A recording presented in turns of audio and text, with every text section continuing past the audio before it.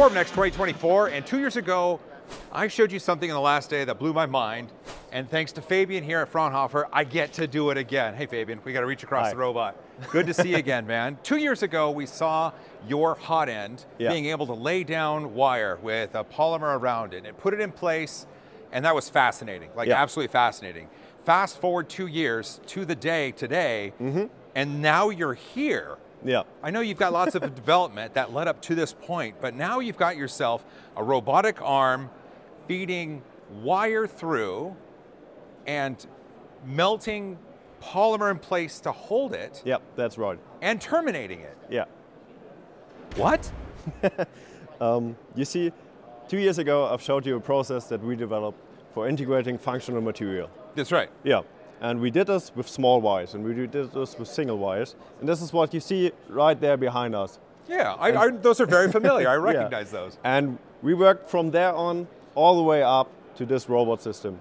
The whole idea of placing electrical functions onto parts works really well for us.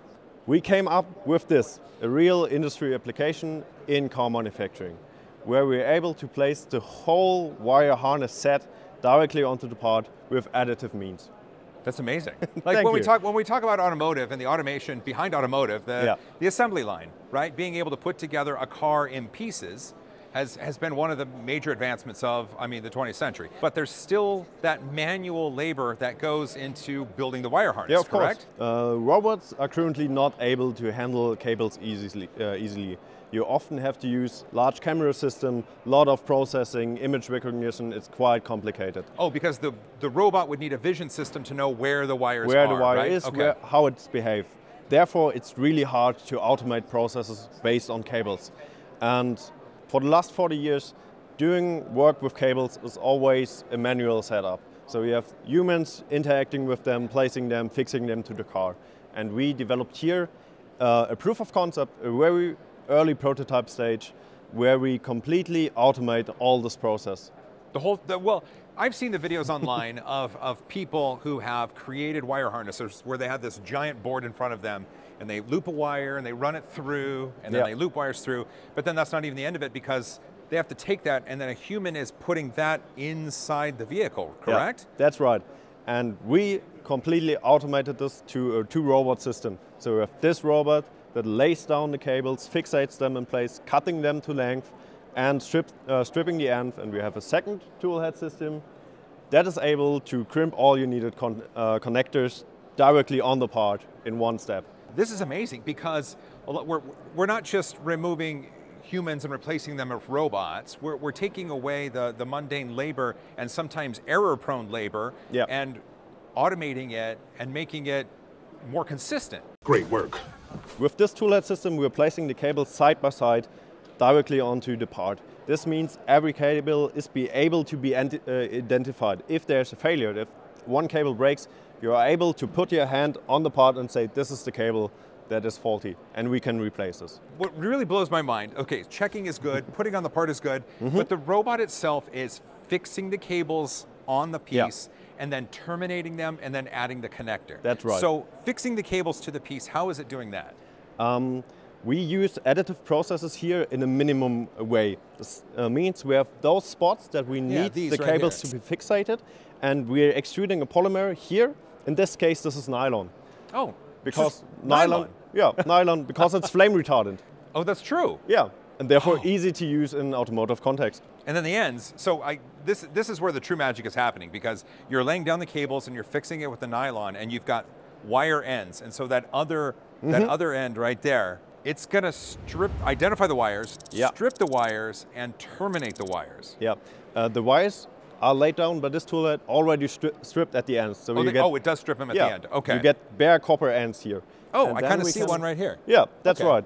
Exactly this. And then we can pick up the wires as we know its position, pull them up, put them in a uh, crimping tool, completely standard crimping tool, place them in contact housings, and you're done. And you have your full automotive certified contacts right on your cable setup.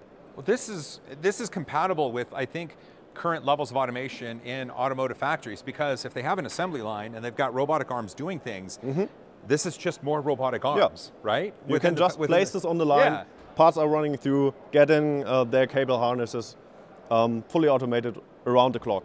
How many how many cables per harness can this do? Because I see two and I Yeah. see four, but I know some cars have really complex systems Yeah. that have more cables.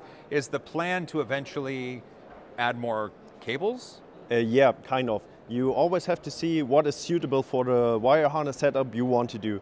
For the harness we did, four was a good number because all strands were, we, uh, were able to be divided by four. And therefore, it was an easy approach to, uh, to say, okay, four is a good setup.